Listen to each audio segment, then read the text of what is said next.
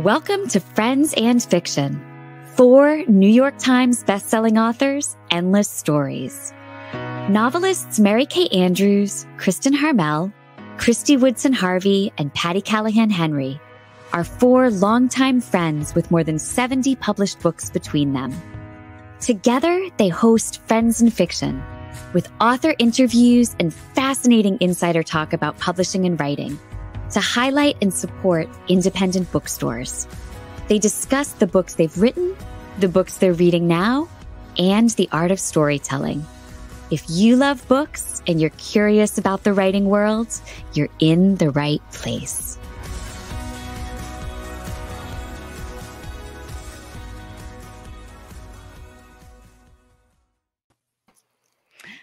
Hi, everyone. It is Wednesday night, and that means it is time for Friends and Fiction. It's our most favorite night of the week. And tonight we are so excited to introduce you to Vivian Howard, along with our superstar guest co host, Ron Block. Hey. Our Kristin is out tonight for her brother's wedding, and we're thrilled that Ron has joined us to talk to Vivian. I am Patti Callahan Henry. I'm Kristy Woodson Harvey. I'm Mary Kay Andrews.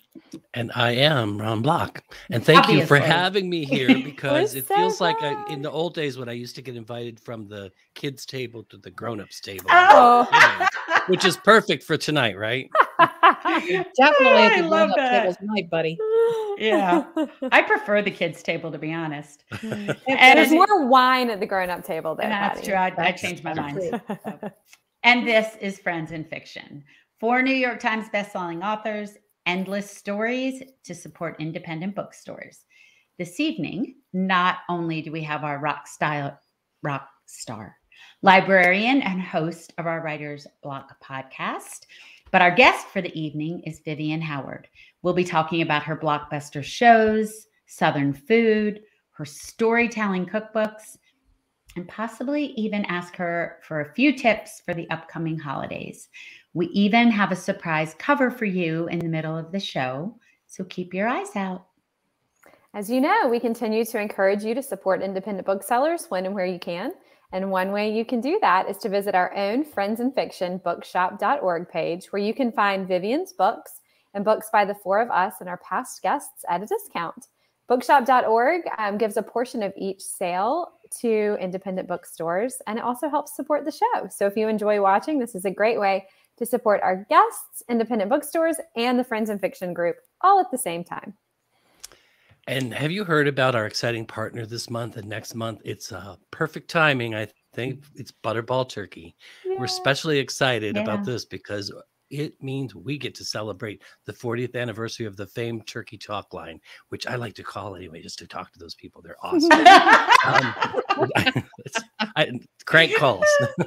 No, We're all going to Make sure- call like 10 times on, on Thanksgiving just to see what that's they right. say. That's right. Oh. Make sure you join us on our Talking Turkey with Butterball after show tonight. We'll be chatting about the history of the Turkey Talk line and mentioning some of our favorite turkey recipes, which we'll be sharing with you in November and December. And this week, let's talk about the parade essay. Kristin wrote an essay for our monthly column for Parade magazine. And of course, it's all about Thanksgiving and the time when she was in her late 20s. And she had an idea to throw a friends Friendsgiving. She found herself suddenly cooking dinner in a rush for 10 people. Well, that's our Kristin taking care of everybody. Mm-hmm. Soon Yeah. she realized that Thanksgiving really is not about panic cooking, but it's more about the time we spend with each other. And she gives us some stress free cooking recipes from our guest today the turkey hmm. Hotline, turkey talk hotline. And I think we've even got some recipes from us in there. Yeah. Oh, Yep, yeah. She included us. Mhm. And as our guest, Vivian, today says, and is quoted in Kristin's article, Thanksgiving can be anything you want it to be. The holidays are all about breaking bread with friends and family and being grateful for what we have. Yeah, so be sure and go check out the essay on parade.com and on our Facebook page. Um, and go and read it because you'll want to see this recipe for salt and butter roasted pecans that I'm Oh. already making. Yum. And speaking of Yeah. thanks, we want to give a big shout out to our friend Anissa Armstrong, who you all Yes. know if you're on the page, for all her time and energy coordinating our launch day love each and every Tuesday. We love sharing the love for fellow authors with new books releasing each week. And Anissa spends loads of time gathering these for us. We are so grateful. Thank you, Anissa. There she is with um, Brenda and Lisa. And oh, oh, look, I love all the flat us's. That's really, really Even you are in there, Ron. That's Yes, great. look at I made Yeah. it. you made there's a flat Ron. All right, y'all. Right now, I want to introduce our guest, Vivian Howard, an award-winning cookbook author, TV personality, chef, restaurateur, and all-around interesting and kind person. Agreed. Um, her first cookbook, Deep Run Roots Stories and Recipes from My Corner of the South, was released in 2016. It was a New York Times bestseller and named Cookbook of the Year by the International Association of Culinary Professionals. In October of 2020, she released her second cookbook, This Will Make It Taste Good A New Path to Simple Cooking. It's astounding. Vivian also created and stars in the public television shows Somewhere South and A Chef's Life, for which she has won Peabody, Emmy, and James Beard Awards. That's got to be the hat trick, right? I, I That's a would, I would say so. trifecta. Yeah. Try Pretty Pretty good. impressive. She runs the restaurant Chef and the Farmer in Kinston, North Carolina, Benny's Big Time in Wilmington, and Handy and Hot in Lenoir in Charleston, South Carolina.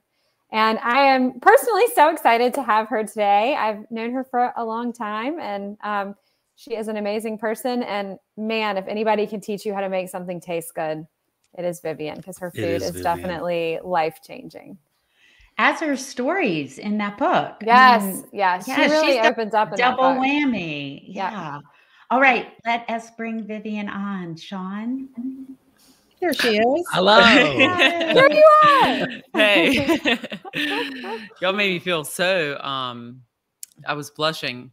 Thank you. So aren't you glad that you didn't have to sit with your face on screen while we were saying all that? I would have never you? done that. I would have like laid down on the floor or something.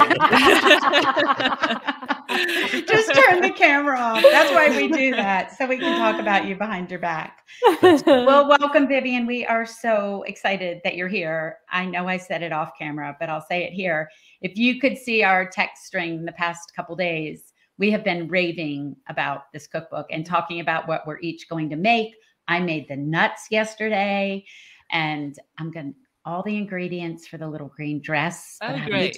Done it, yeah, and so did Mary Kay. Yeah, So y'all We are going to be really jealous when I tell you this story, but I got to get an early copy of this cookbook Uh-uh. and it had a jar of Vivian's Red Devils already in it. So it was like I can make it taste good and I don't even have to do No. anything. Yeah. This is great. Yes, yeah.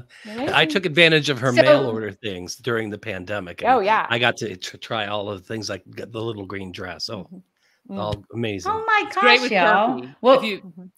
well we'll probably get there, but yeah.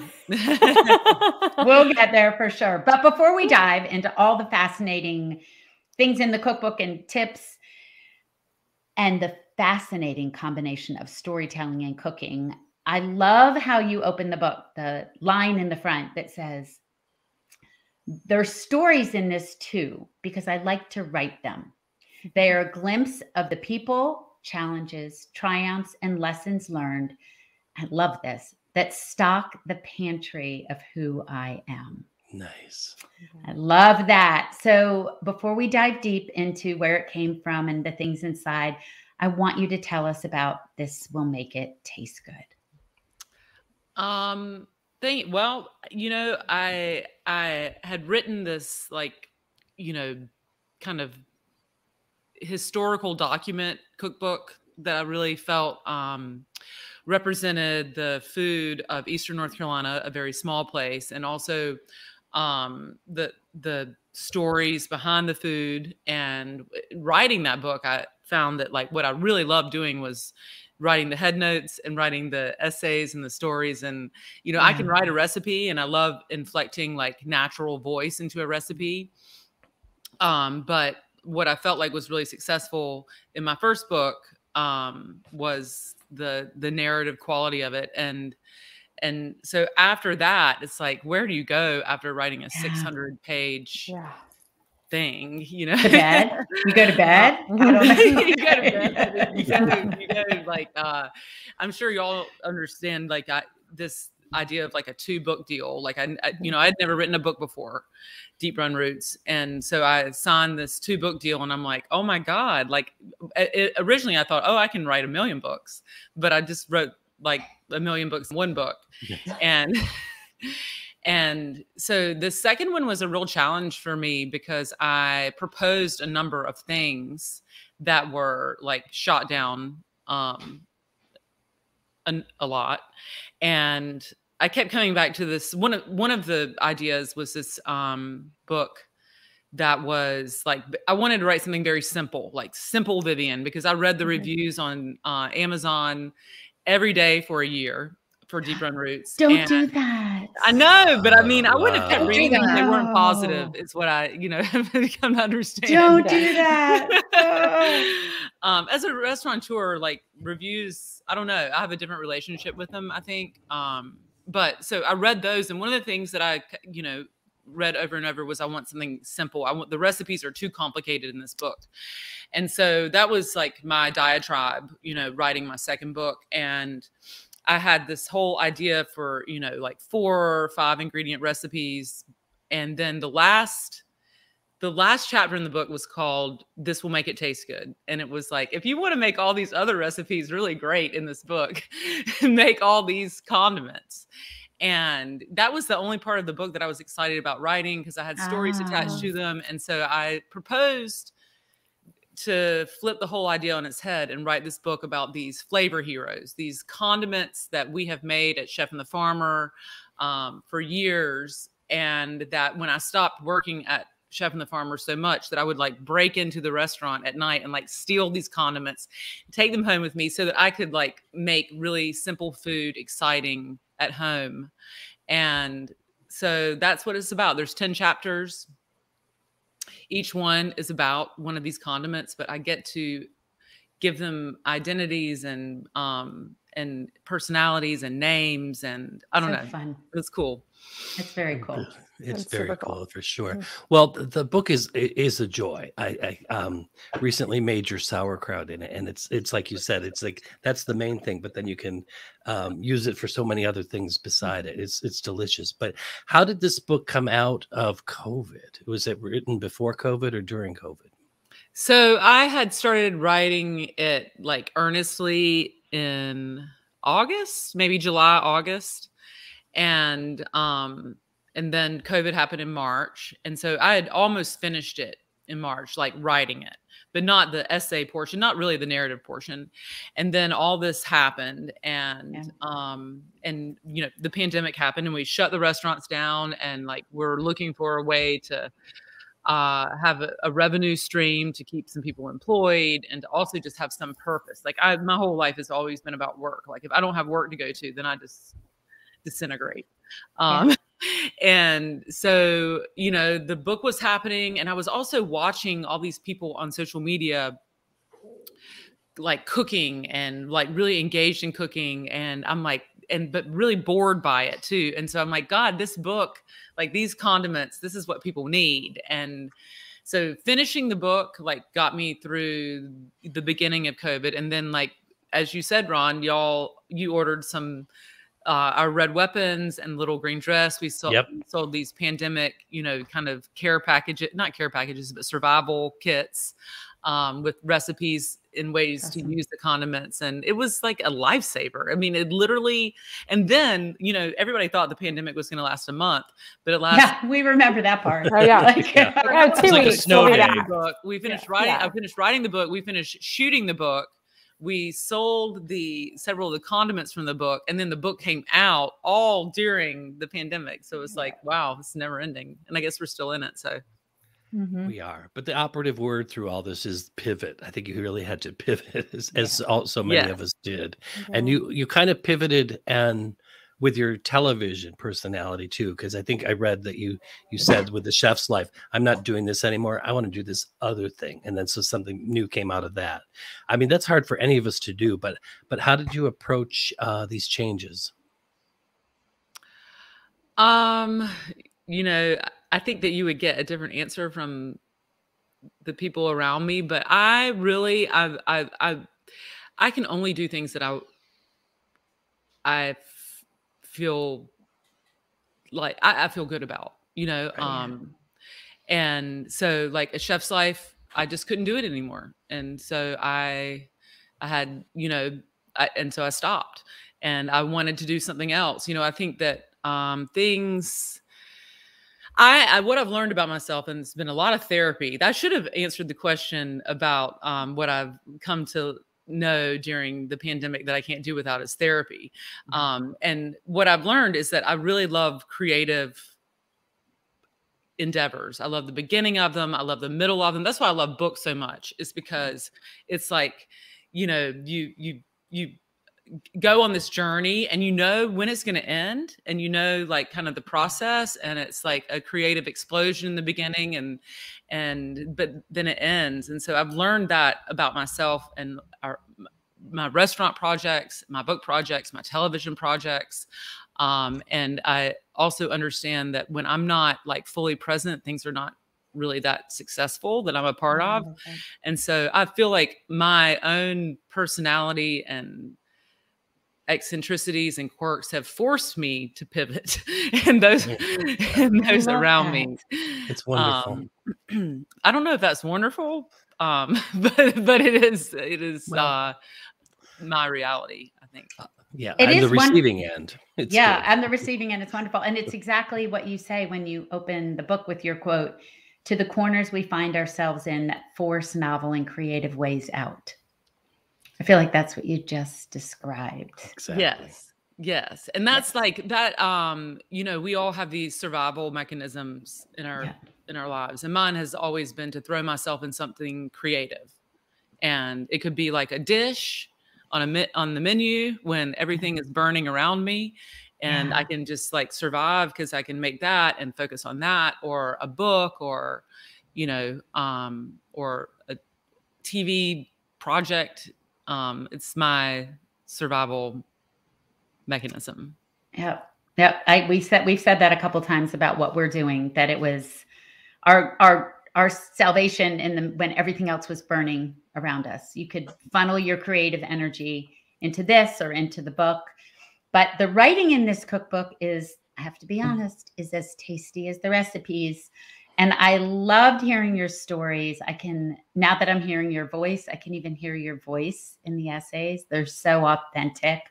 And I love your pep talk at the front of the cookbook i that love that says, too I love it. It Just you can, and what would Vivian do? I, I just, it's amazing. So, how do you see storytelling and recipes as partners? Because obviously they are. Um, well, I've always thought that I'm like a far better storyteller than I'm I, I am a cook. And Mm. so like our I mean, I think I'm a, a, a good cook, but um, there are a lot of great cooks out there. So at Chef and the Farmer, I found we, we always had more traction when there was a story attached to a recipe. You know, people were more interested in it. They gave it more you know more time to consider and um and so I, I feel like that is at the root of kind of what i do is um blending and food and and thought and purpose and history Yeah. and um and and food is something that we all engage in and we all you know we have this whole mantra of like we we're going to sit around the table and and talk and and Yeah. and have this moment when we're breaking bread be the moment that we're sharing but for some reason we have a hard time taking food out of the context of food i don't know it's it's it's interesting to me in that like there are not there have not been that many narrative cookbooks written you know Mm-mm. where where the the recipes relate or the head notes really relate to something bigger than just like what you're making for dinner um, when food is such a, a huge part of our our lives um I think it makes it more interesting to cook when Yes. when what you're cooking or making or baking. I like baking better than cooking.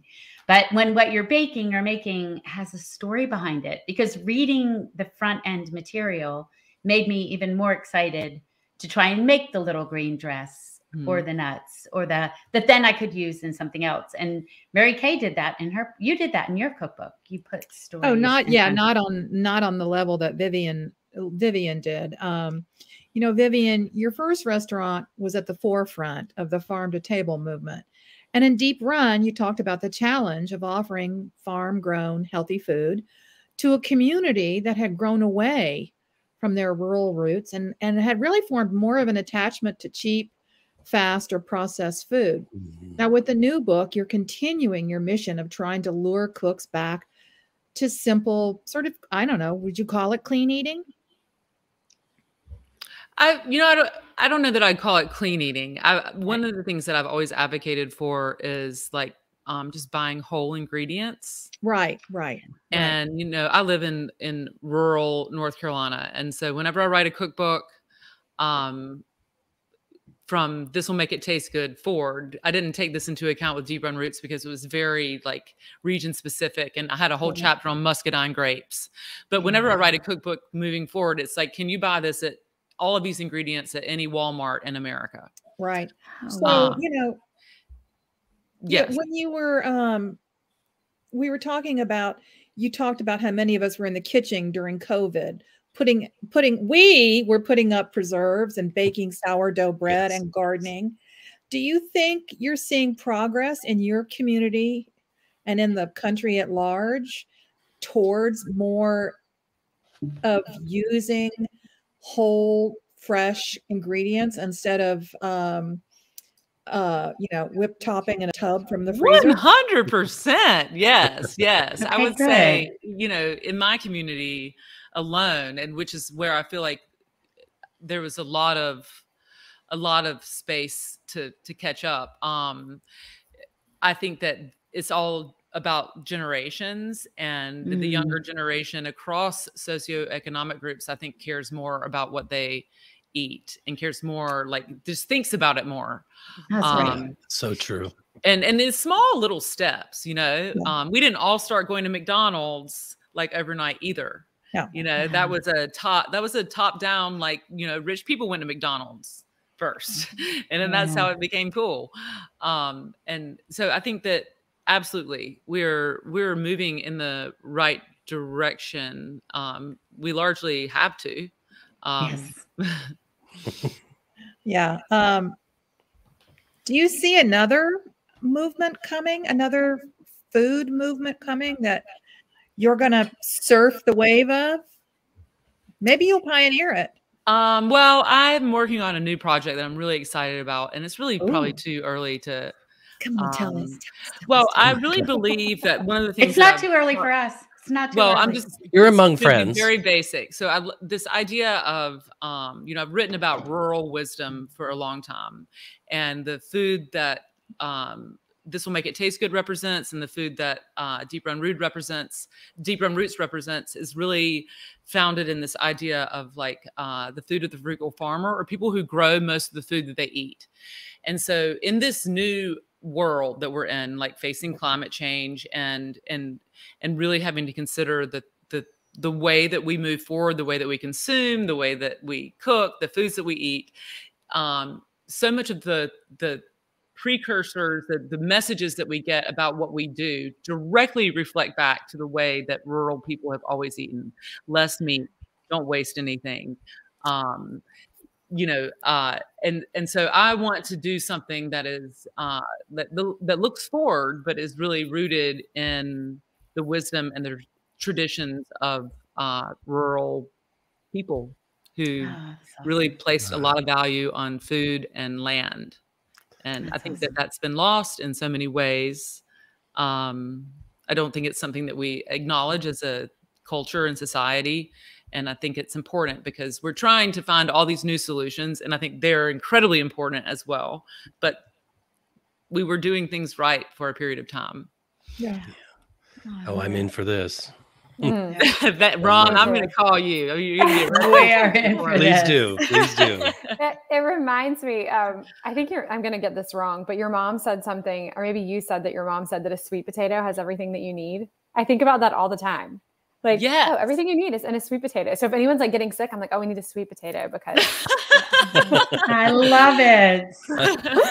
um, no, it's funny too, like reading the book and um, and knowing all the players in it, you know, like especially like I feel like I know like Lorraine really well from Yeah. doing Pilates with her every morning for years and you know things like that. Um, it's just it was so fun to get to you know read these essays and feel like I got this like real glimpse into you know your family and um, which I guess I guess we all did on a chef's life. I mean, I guess we really did, but um, you are extremely honest in this book, which you know we've talked about before. I think we talked about on the podcast, um, but about how you felt after this breakthrough success of your first cookbook, this massive hit show, this incredibly. Am I having feedback? Mhm. We have, an, we have an echo. I'm sorry. Hang on. I hate that so much when it happens, and you're like, I'm just gonna keep going, And you can hear it in your own yeah, ear, you're like, and "Oh, I I'm know. going crazy. Yeah. Is that better? Yeah. Okay. Okay. Um, but you're really honest about how you had all these expectations on you after that. Like everything was going so well for you and it just felt really, really heavy. And I think, you know, in some ways, all of us are living this public life, maybe not as much as you, but in some ways we are. Um, and h- how do you manage that? And have your ideas around, you know, the expectations of that shifted? Because I think, especially, in the beginning, it's really hard because you feel like you have such a responsibility to every single person Yeah. Out there. It's true. Yeah, I mean, it's been a big issue for me, you know, um just being in such a rural place and and having a show in particular that was like so like I was just bare on it. You know, people thought that they knew me and so people were traveling from all over the world to come eat there and I'm not there and then it's like a, such a huge disappointment for them and I could feel it like in every every part of my life and that's one of the things i write about and this will make it taste good like i i i charted another way home from my office so i didn't have to ride past the restaurant and see how many people on any given night that i was disappointing and so covid actually has been a big gift for me because um it's kind of like fuck it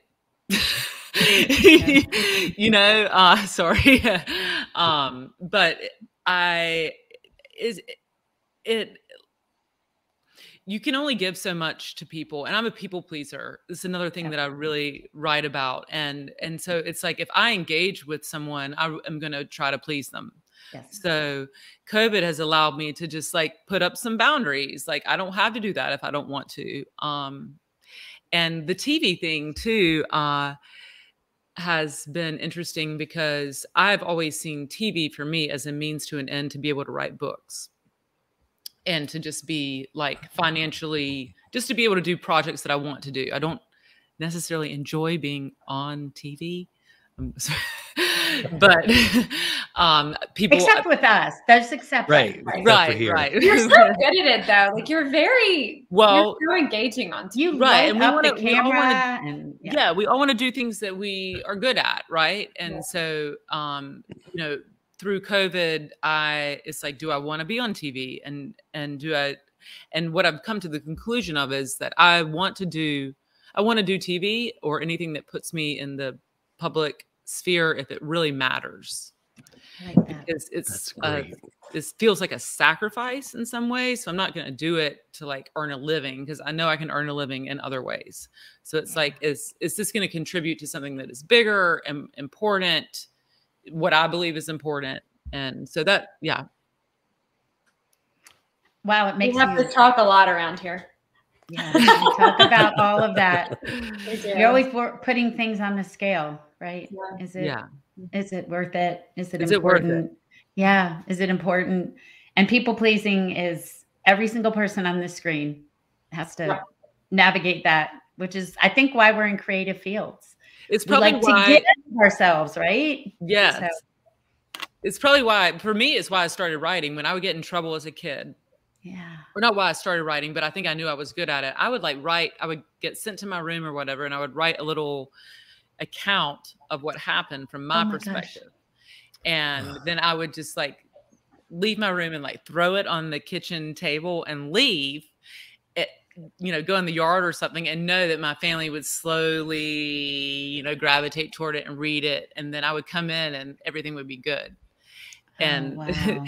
and so it was like yeah my original people people pleaser i guess thing you know i listened to um katie couric's podcast about her new book going there and she talked a lot about being a people pleaser, pleaser. and and um, how that affected her career in broad 40 years in broadcasting and it was yeah it's something all of us i think it you, you we're not i don't think of myself really as in the public eye but you know when someone writes you an you email are. You are. Sorry, but you are. Sorry. You are. people stop you on the street and go, "Oh my God, are you Mary Kay Andrews?" That's, That's in being in the public eye. Yeah, that is. That definitely is. yeah, and you want it. You want to please everyone, but some yes. sometimes you just have to pull back. For um, us, she doesn't care about pleasing us. She just says no. no. She just says no to us. Wow. She's found her boundaries in one place. She's like us. That's what my children say. They're like, "You, you're cool." Like talking, you know, giving everybody else everything, but you know, it's like, yeah. yeah yeah oh, so you can be yeah you know Speaking somebody of, in the in the questions is asking about your children vivian yeah. um, i see one that says um, now that your children are are older do they like to cook no no i think they, that they're from a restaurant family yeah yes and you know i have i have had a lot of issues with that um hence therapy, uh, pandemic therapy. You know, it's like virtual therapy is great. You can get it almost any time. but uh, I food has always been such a hot button issue in my house. You know, it's like my work, it's Ben's work. You know, um, it's it's the thing that takes me in large part away from them as they see it, whether it's writing cookbooks or you know and so it's not it, and and also i'm incredibly impatient um you know in the kitchen it's like i i want them to do what i ask them to do and they don't and um and so it's not been a safe happy place for us um yeah. it's i find that i'm better engaging with them in in places where i'm also learning um so yeah There's not only a question, but a man wrote in named Stephen Vaughn. And he said, Speaking of pleasing somebody, he said, I'm a 70 year old man born in Farmville, Virginia, raised near DC, but never have I lost my country roots. And that's why I'm here. Plus, I lost my wife 13 years ago and can't cook. Vivian has taught me a lot. Oh, oh wow. That's beautiful. Thank you. you. Isn't that beautiful? So if you're yeah. wondering if you're making a difference, that's amazing. That's right there. Um, right there. Cap- Mary Kay, you want to pull another question? Yeah. Um, let's see. Moira Stevens says, My mother used to take cookbooks to bed like most of us take novels. I think she would have loved your idea of combining a narrative with the recipes. And you know, I I did the same thing. I'm I'm locked. I'm on I'm on lockdown, finishing a book but I took uh, the cookbook to bed with me the other night. Yep. We were texting about it. It's funny. Yeah, I think that, you know, in in this in today's world where you can, you know, if you want to make chicken with Brussels sprouts and olives for dinner, you can Google chicken with Brussels sprouts and olives and find, you know, any number of things like if for me cookbooks need to bring more value than just recipes yeah. and just like lame like opening like head notes. I want something that is like fully fleshed out and really creative and and I, I, want it to be more like way more than just recipes. I can't tell you the last time I actually made a recipe from a cookbook, but I love cookbooks. So yeah. um and I think there's a lot of people that feel that way. Um, yeah. It's immersive, an immersive yes. cookbook. And I always want to know more about the person writing it or more about the recipe or more about the their recipe for success or their restaurant. And so, yeah. Awesome. We have a lot of questions for you, but um, I'm going to be selfish and ask one of my own because Oh, that's awesome. we were talking about Butterball at the beginning of the show. It's turkey time. And do you have any tips for us about, you know, how to make our turkey taste good? You know, turkey is not the easiest thing in the world. Not. No, it's not. But what I would recommend, and I recommend this with not only turkey, but if you're cooking a whole chicken, any whole bird, is spatchcocking it. Do you know what I mean by What's that? that? No. So if you are not buying a frozen turkey and buying it from a butcher, you can probably ask if they'll do this for you. But if not, it is really, really easy. So mm-hmm. whenever you spatchcock a bird, all you do, it has to be thawed. So just know that. But all you do is hmm. cut the backbone out. Like you can use a knife, you can use like kitchen shears, cut the backbone out, and then take the bird and flatten it. And just I like have not heard of that. Press down on it. So essentially, you're taking this whole like steaming like mechanism that is the cavity of the bird that is a terrible way to cook something and removing it and you're you're cooking it on a flat surface. So for one, you're going to like cut down on the cooking time tremendously. For two, it's going to cook more evenly. So that would be if I could tell you anything, I could tell you about brining, I could tell you about soaking it in buttermilk, I could tell you about like all kinds of things. But if you spatchcock your bird, and and I would also recommend this is a great tip. So get um take some like rustic sourdough bread or any kind of chewy European bread put it you know cut it into um you know I, I would buy a loaf like this and like slice it in half like one inch slices put it underneath the turkey okay Oh. Okay. just underneath the turkey and but only if it's spatchcocked because if you put it underneath the turkey and it's whole it'll take too long and the bread will burn but put it underneath the turkey put some herbs underneath that if you want like some rosemary or some thyme whatever lemon and then roast it like that on a sheet tray with the Mm. bread underneath it and you won't even like want any stuffing that bread is going to be the best thing you've ever had Now, can you still get the pan juices for your gravy? Um, yes, yes. And actually, for a, a better tutorial on how to do this, you should look in this will make it taste good. Little Green Okay. Dress chapter. And there's like a chicken toast recipe. Oh yeah, I saw that. Yes, but you're not gonna pick the you're not you're not gonna take the chicken off the bone for this. You're gonna like Yeah. roast the turkey and and the little green dress would be a great condiment to have with that. Okay. That sounds so good. It makes me Oh, want to go make it right I now. know, I'm looking for it right now. I Yeah. actually made a turkey like two days ago, just in like preparation. But I hope Will was listening to this. He's really good at spatchcocking chicken, so I'm hoping. Yeah, he- my husband's good at it honestly, too. he's our turkey. He's our Yeah. cooker. Yeah, my my husband is too. He's he's, he's the best, he's, and he's the meat man. like my Yeah. whole, like my aunts, uncles, everybody. He's the best. I really I'm a think big whatever fan. Okay, Ron, you want to pull one?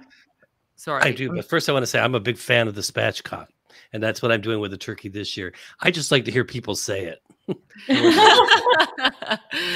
You spatchcock. You're not the Oh, only that's one, right. Ron. I Ah, talked about spatchcock chicken in a book and got so many questions about it that like yeah. It was unbelievable. And I was like, I, wow, I didn't. This is amazing. It's- I just want to casually drop it in conversation. Spatchcock. Oh, do you know about spatchcocking? Yeah. Well, you you can can. that. if you You spatchcock your chicken on. Thanksgiving, you can say I spatch I just spatchcock my chicken, my my Yeah, thank my turkey. There you go. There you go. Yeah. So we have Did we have this you? Great, great question about um, if there's any immigrant influence in your cookbooks or in your dishes in your restaurant. Um, well, I I choose to look at like my regional cooking as a um as all immigrant influence. You know, like Right. everyone in Eastern North Carolina came there from somewhere else. And somewhere south in particular is about the ever evolving uh, food culture of the South. You know, it, it literally the the precipice for the show is like how the food traditions we bring to the place where we are shape that place and how that place shapes the food traditions we bring. And so, like a, very early like example that I like to use that actually inspired a chef's life was my neighbors um, making collard kraut, and um, you know they made it for the, forever. But the idea of like them their, their, ancestors coming from eastern europe and landing in you know eastern north carolina and finding collards which you know were a, a, a, an ingredient that came here from arguably two different places one being africa um, and and then applying that technique of that kraut to the collards. I mean that's the that's an example of like mm-hmm influence and and and a way that our cuisine as Americans evolves. And so, yes, the answer is yes. yes, yeah, that's great. That. God, I love collards. And the, the more you know about the food we're eating, the more interesting it is, and then the more you want to make it from whole food and right. not buy it pre-prepared or already slathered in something to hide its flavor. Oh, I just love this. So, one of our favorite parts of the show is the segment where we get to ask you for a writing tip. And your writing is so personal and it's not fictional, but you must have a writing tip to help us kind of tap into that personal authenticity in an essay. It's just beautiful. So I've been thinking about this a lot because I knew the question was coming. Yeah. And um I I've been asked about like my method for writing before and I just really I don't know. Um I think I think about so I write this column for Gar- Garden and Gun as I've had four so far and I do most of the writing before I ever write it. Like, so I just think I, I drive a lot because I work here in Charleston. And so I just think, think, think, think, think, and I know exactly what it's going to be. And then I write it. Oh, wow. And, uh-huh. um, and that was the same way with the essays in This Will Make It Taste Good and Deep Run Roots. Like I, I spent a lot of time, um, thinking about it. And then I just like just write it. I don't know. I, I, know that that, but there's a lot of. It seems like there's not a lot of time, but I spend a lot of time musing on what it's going to be. Um, and, and what I want to say, and I always try to make sure before I start writing anything that I know what I want to say. Mm-hmm. Like not necessarily what it is, like you know what the the the movement of it's going to be, but like what the end purpose of it is. That's awesome. Pre-writing. Do you, do, do pre-writing? Like, do you write down? Oh, here's three things. Here's three points I want to get across in this essay. No, but I'm going to try that. with what you're already doing. I, mean, I think I'm kind of doing that. You know, I think if I try to do something bigger, like a book, you know, I would have to do that. But with an essay, like so far, my my experience has been kind of singular. You know. Um, that's that's so interesting because I think I do that too, but like specifically with essays. And so like I have a hard time. Like I just wrote an essay for an anthology and I pitched something and then I had this totally different idea. Like it just sort of like popped up. But I'll always say, like, no, like I'll when I know what it is, I'll feel it. Like I'll feel what the thing is. Like you feel yeah. that thing and you know, and you you aren't saying in your head like the sentences, but you just you know the story. Right. Yes. Yeah. Yes. That's yeah. exactly what happened. Yeah. So like my, I'm writing, um, I have a, my column due for Garden and Gun um, on Friday, and I had pitched this idea to write this story about this church that is uh, um, across in between my house and the house that I grew up in. And I've passed this church my whole life. I've never even been in it and I went in it like a month ago and it felt holy and I'm not religious and it was just this big thing and so I was like I want to write about this and then I started writing it and I'm like this is not what I want to write about but yeah. I've taken pictures of the church and the illustrator has it and and so I'm like um yeah but you know you know like I knew yeah. like yeah yeah that's interesting. Yeah, I, I, didn't. Yeah, wow. Common experiences are good. Okay, so do you have a book that you could recommend for our fabulous audience tonight? Yeah, well, I thought that I would recommend another narrative cookbook and like the one that kind of inspired the way that I approached I approach um, cookbooks. It, it's Edna Lewis's The Taste of Country Cooking, and it's um, an older book, but she blends uh, recipes and food traditions and family and culture uh, in a way that really made me uh, feel as if I could celebrate the really mundane kind of basic things that I grew up eating.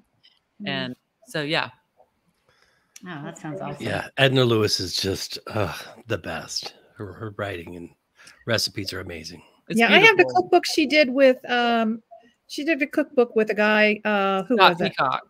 Peacock. yeah, Peacock. Scott Peacock. Yeah. Right. Yeah, I have that book and have cooked That- from it. It's wonderful. Yes. Now my cookbook TBR is growing as if I need more books in the house. I already know what cookbook I'm getting everybody for Christmas. I want us to all sit around and talk about it. It's almost like a book club, your cookbook. Yes. Like you don't want to just that's why we are texting because you don't just want to have the cookbook, you want to talk about it with someone. That's Well, how y'all it feels. should y'all should have um i'm sure that a lot of people tons of people have done like book clubs with your books but one of the fun things that i've noticed over the years is people doing these cookbook clubs where Awesome everybody idea. they're reading it together and then everybody picks a dish and then they so they cool. go and um, cook and um, send me pictures and make Oh my gosh, aprons that's awesome.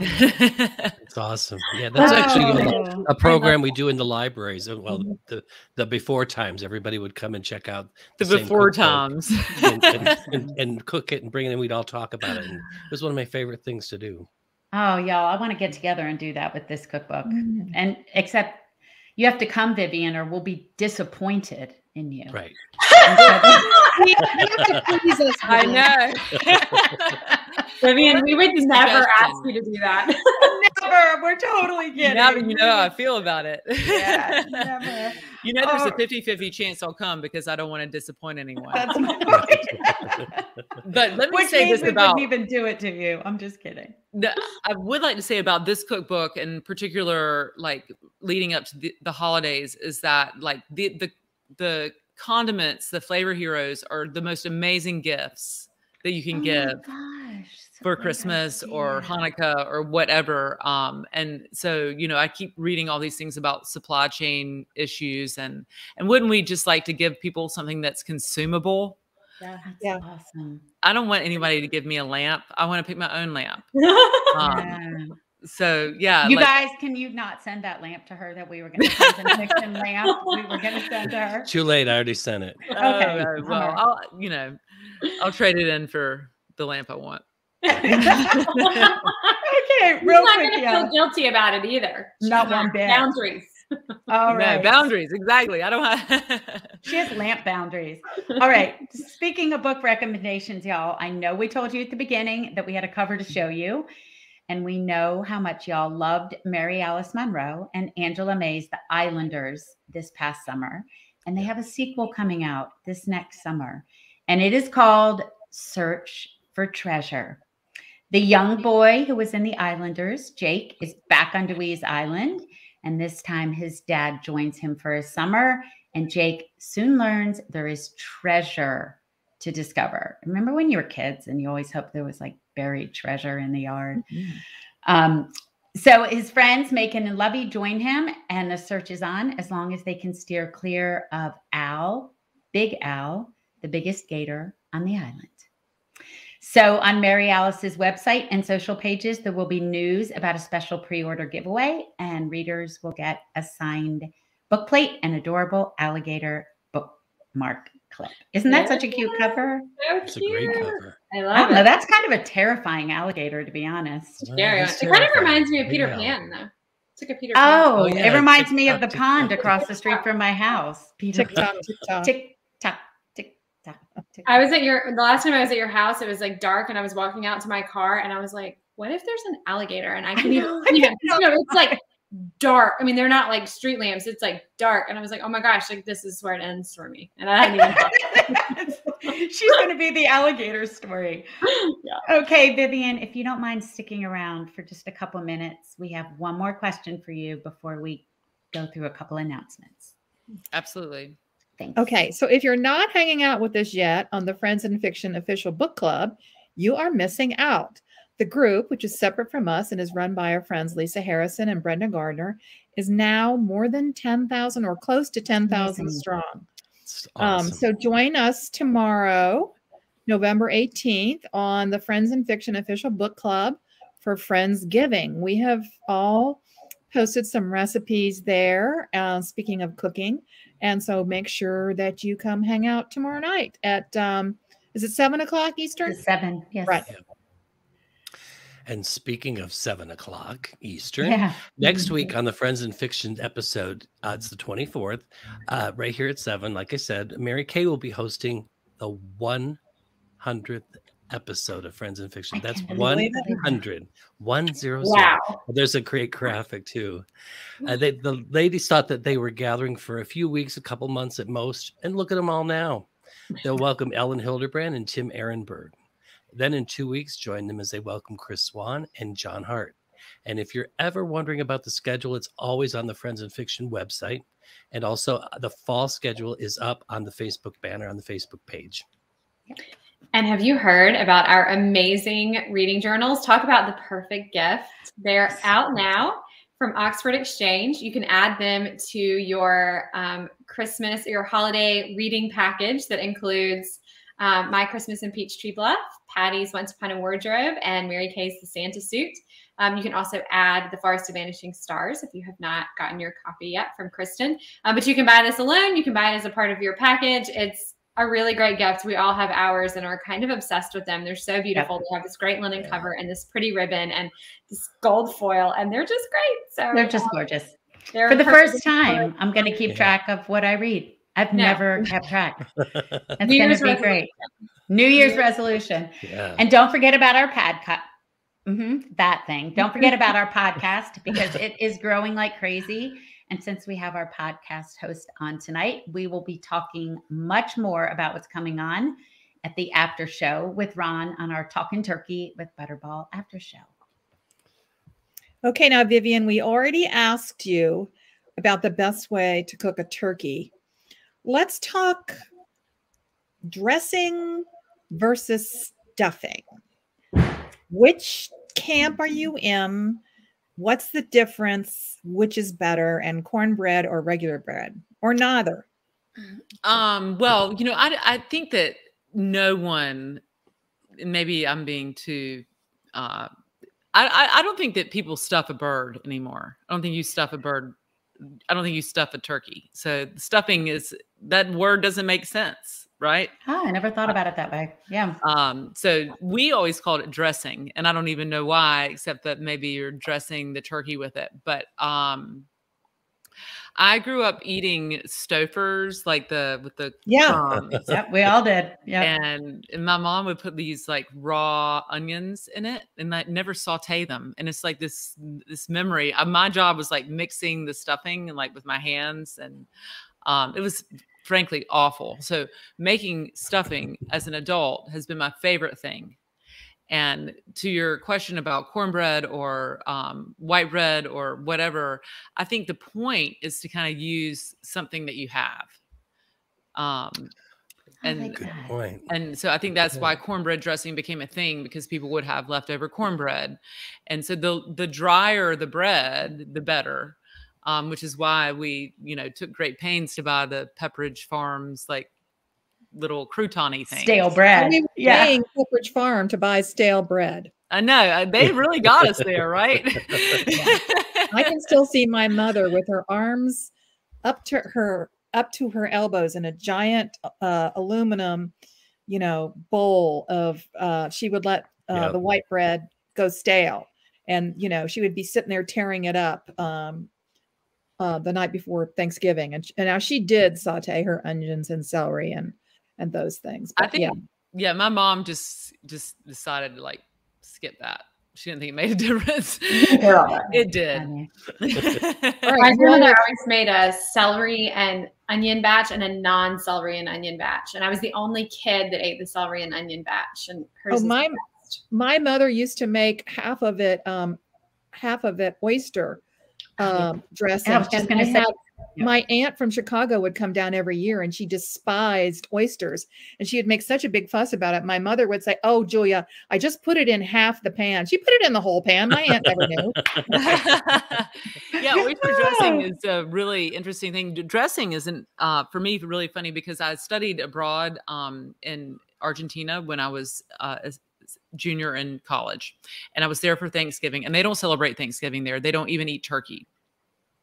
And I wanted to like do Thanksgiving. Um, and so we ordered a turkey from Brazil and it came, it was like four my pounds. So I gosh. think it was a chicken, but Oh, um, but this is the first time I ever cooked without a recipe, is the point. So I, I bought bread in the grocery store, dried it out, used chorizo, and so go wild with your dressing, is what I would say. I like that. Go wild. And I love thinking about just use whatever bread you've got. And it is it is funny. One of the questions we sometimes ask authors is um, what their values were around reading and writing when they were growing up. And for you to hear the values around um, cooking, like that your mom used Stouffer's or didn't saute the onions, it's fascinating how we then shift. And and here you are. So Yeah, it's also interesting. My mom made me read 30 minutes for every, made me read an hour for every 30 minutes of television I wanted to watch as a child. Oh my gosh. Yeah. So you didn't ask that question, but there you go. No, I am I answer great. it. That's I need to start that in my house. That's no, it made me hate it. I would lay there and like pretend to read. Okay. but I really loved reading. But the fact that she was making me do it, don't do Almost that. like a punishment. Yeah. Yeah. I wouldn't let my kids watch television on school nights. Yep. They still they still tell me that they're scarred by it. And no, that's good. yeah. They can take that to a therapist. Mhm. Well, Vivian, Virtual you- therapist. Yeah, the virtual therapist. Vivian, you have been such a joy to talk to. Yes, we could talk to you for so long. And there are so many questions rolling in that we didn't get to. So just know you are well loved and people love your work and your cooking and your shows. And we are so honored that you visited us. So thank you for coming. Thank you. I'm so honored to be asked. Thank you. Thank you. Well, have a great Thanksgiving too. great. Thank Happy you. Thanksgiving. Happy Vivian. Thanksgiving. Spatchcock your bird. Okay. Yes. Let's talk about it. Hashtag Let's talk spatchcock. about it. Take care, Vivian. All right, y'all. That was so great. Now make sure to so stay amazing. around. I know, amazing. Stay around for our Talking Turkey with Butterball after show because Ron is going to catch us up on the podcast. And we have so much to talk about. And don't forget that as we approach our 100th episode next week, you can find all of our back episodes on YouTube. We are live there every week, and just like we are on Facebook. And if you subscribe, you won't miss a thing. Plus, you'll have access to some really special short clips from other shows. So come back next week, same time, same place as we celebrate 100 episodes Wow, with Elin 100. Hilderbrand. 100. Who knew when Mary Kay Andrews called us and said, Hey, y'all, let's get on a Zoom? Look at us. So we'll see y'all next week. Good night, y'all. Good night. Good But night. don't leave. Thank you for tuning in. You can join us every week on Facebook or YouTube, where our live show airs on Wednesday nights at 7 p.m. Eastern Time. Also, subscribe to our podcast and follow us on Instagram. We're so glad you're here.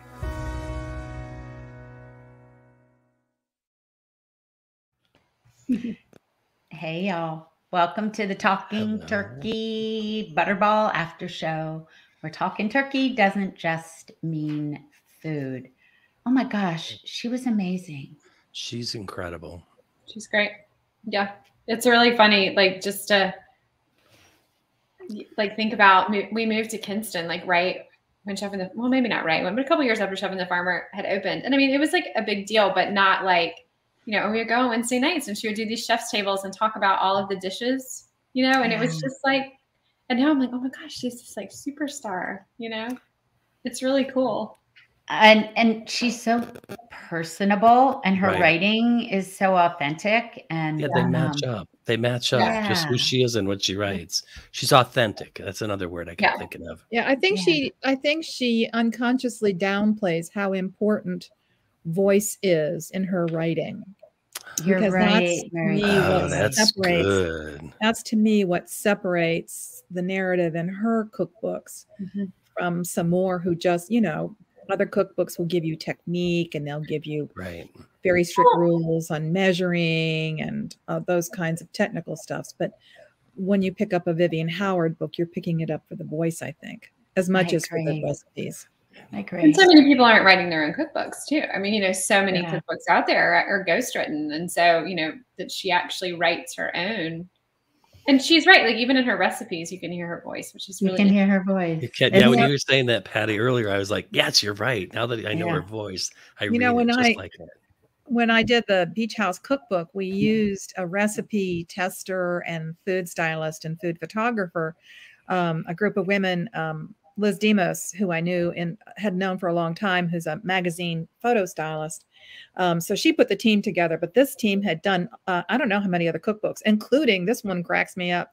They did a cookbook for the Duck Dynasty guys. Oh my gosh, I'm sure they wrote their essays. Oh, that yeah, the Duck Dynasty guys had nothing to do with it, but they were just like you know. And then they Using were the like, we have to write redneck recipes. It's hilarious. Well, and, when she, and shoot them.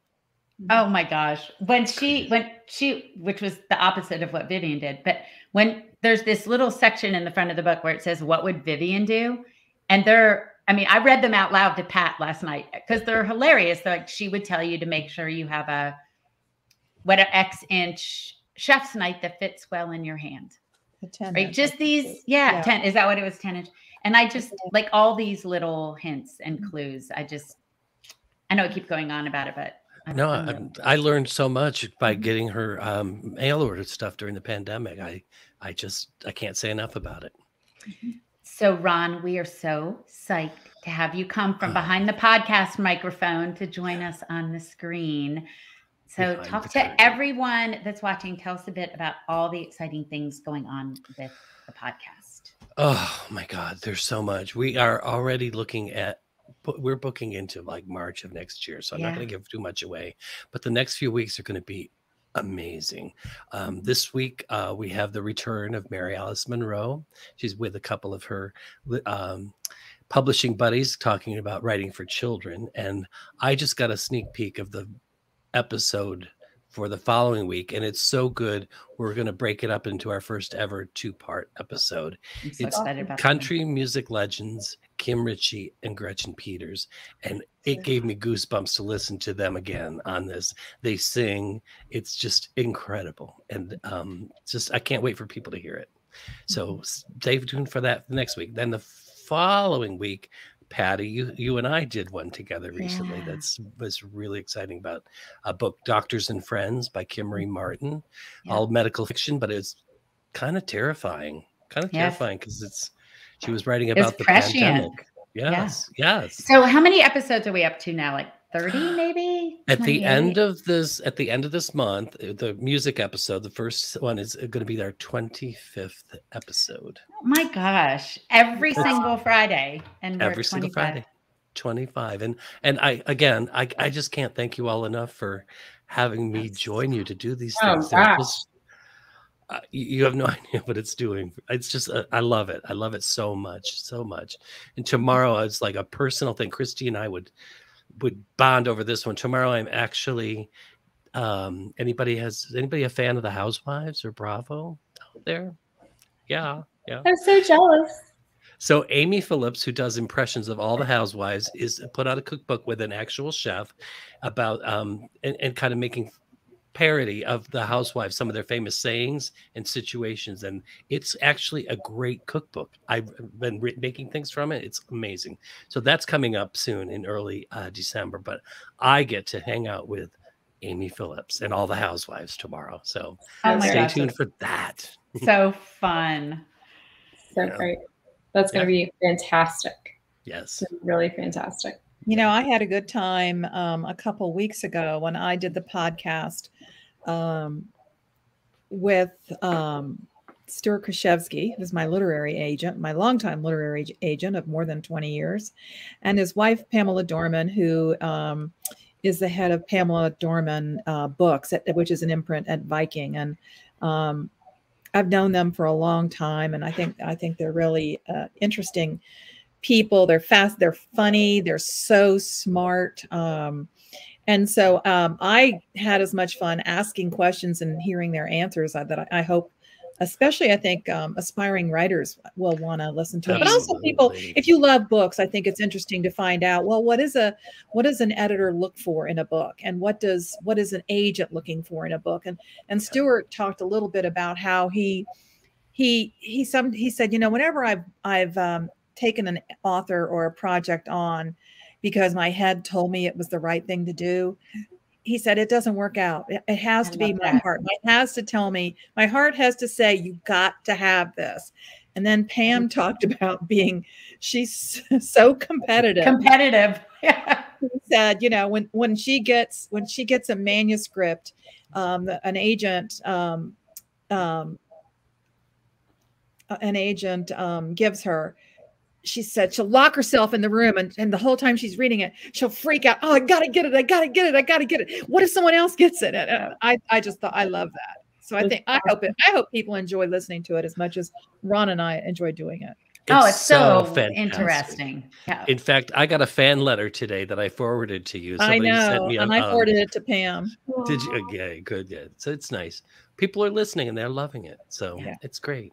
And you know that there's such a theme. You know, if you think about like what Vivian was talking about tonight and talking about Stuart and Pam, and I think about the episode Ron that we did with Allie Larkin and how she was talking yes. about, you know, being with an editor that really wanted to change this story, and she was like, "This in so many ways is the story of my life, and if this is an authentic story that I'm telling, I can't change it." You know, yes. and oh um, and I mean, really, like I think about something like really in particular that um that Vivian turned down, and I, I don't think I could have you know like she was like it's just yeah. it's not it's not the thing it's not the thing. And i'm like i can't imagine turning that down you know? So it's really interesting to just kind of think about recentering and feeling like you know what is it that i'm supposed to be doing? Where is it that you know my heart tells me? And um, you know what's the book i'm supposed to be writing? What's the That's project right. i'm supposed to take on? Because it is easy to get really caught up and so much noise, you know, and you do get to a point where you have to turn some things down. I'm so good at it.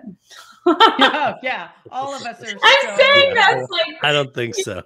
all like, of us are so good. We were all laughing. Yeah, pros. We were and we were like, when do we agree to all this stuff? And then it's like it all comes up at once, and you're like, oh god, who said yes to this?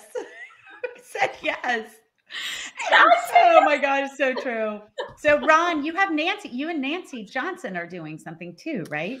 Yes, we're putting together something to celebrate the paperback release at the end of January for her, The Kindest Lie That We Love. And okay. we're inviting a new debut author on with us. And it's still details to be worked out, but um, so she's like, going to co-host with you. That's awesome. yeah, so she's going to co-host, and she's going to pass off the baton a little bit for debuts. Oh, I love that. Yeah.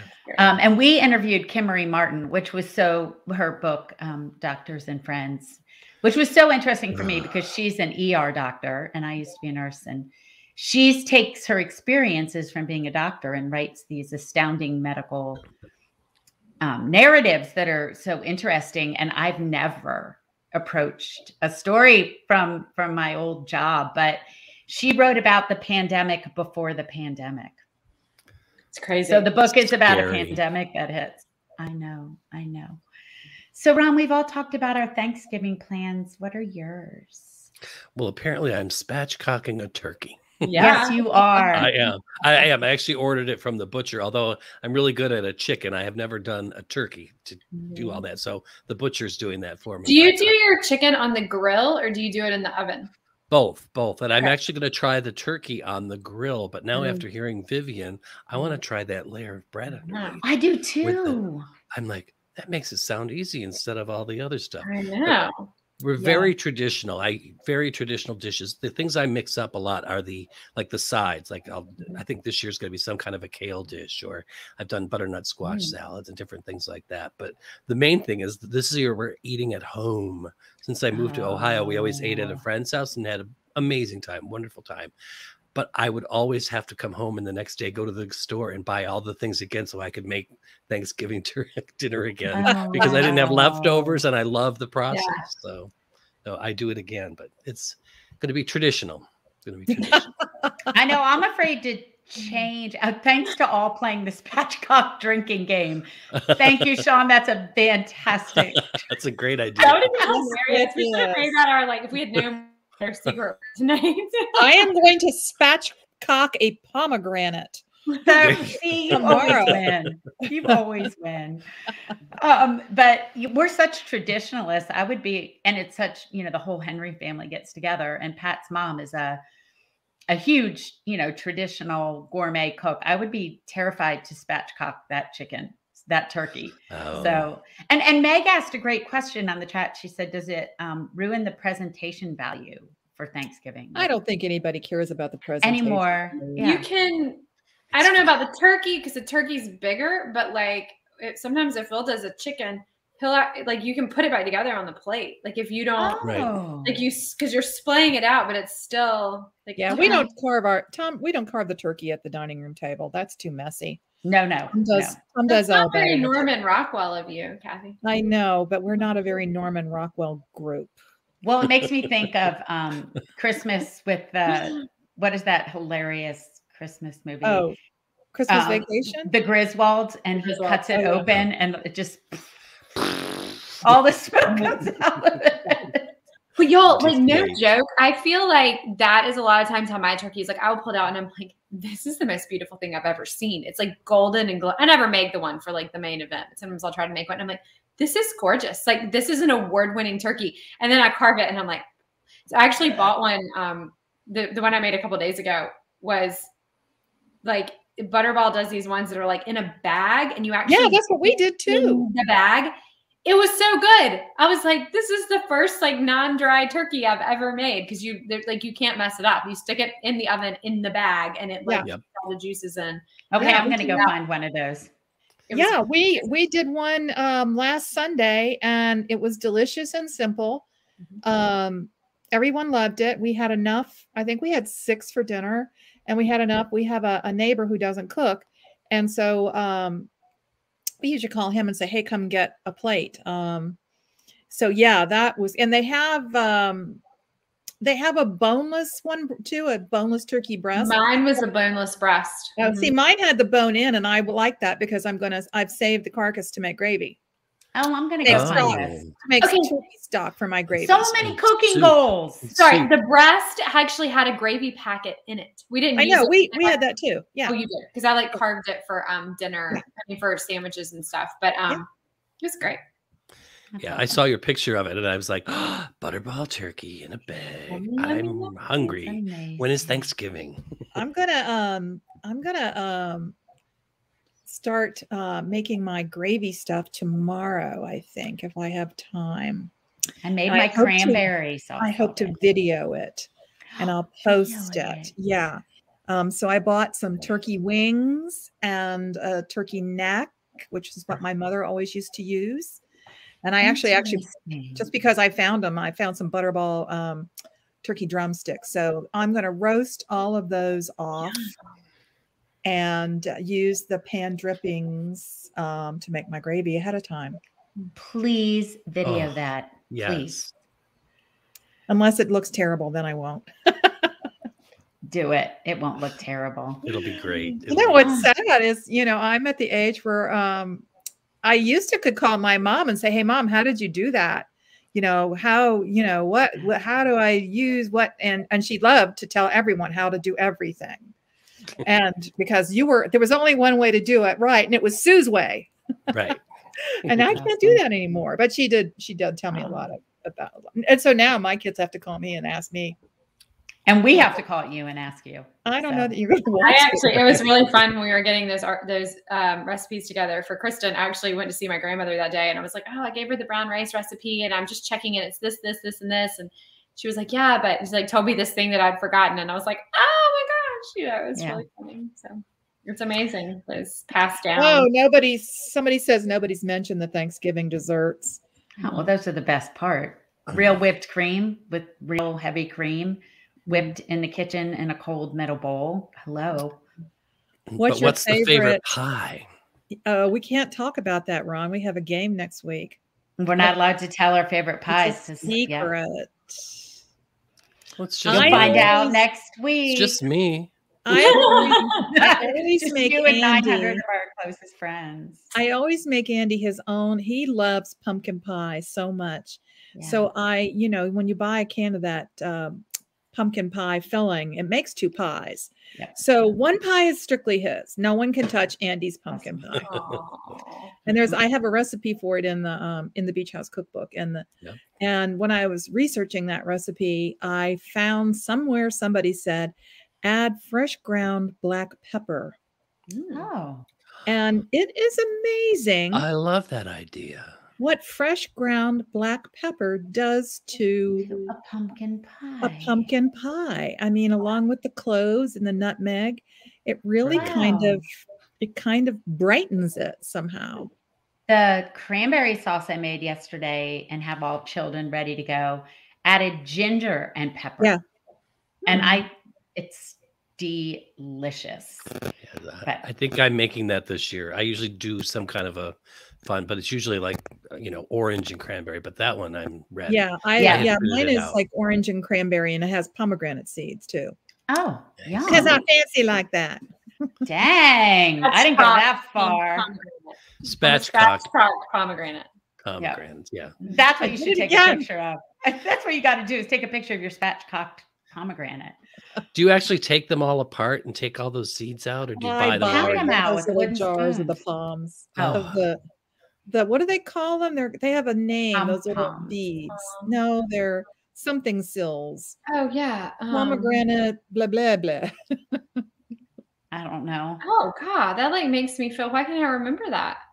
I just call them the pomegranate. pomegranate something's Can tills. Type it in. Somebody Oh, right yes. now is typing it on the page, 100%, and we can't I'm it. I sure hope is. they will. Uh, if Sean, if Sean were any, were worth his AV nerd, Salt. That'll- He would be Googling that and telling us right now. All right, He's- y'all. Talk about cooking. I'm going to go eat. Mhm. I know Tom's cooking my dinner downstairs. So, Good night, everyone. Wait, we Wait. have to talk about we have to talk Yeah. about the turkey. Yep. So before we leave, we will see you next week. And just a reminder that Butterball is celebrating the 40th anniversary of its Turkey Talk line, which started as just a phone line. Fresh Arils. Arils, that's it. Aril. Fresh Arils. Thank you, Meg A Walker. good crossword word. Yeah, it's a good one. And they have a website and they're even on Instagram and TikTok. Of course, we all know that we can call in with last minute questions about our spatchcocking on Thanksgiving Day, but they're actually open even now up through the end of December. So you have Yep. any turkey questions at all, call the turkey hotline and give them a call or check out their website. And that's it for tonight, y'all. We'll see you next week for 100 episodes. One Gobble, gobble. Good night, y'all.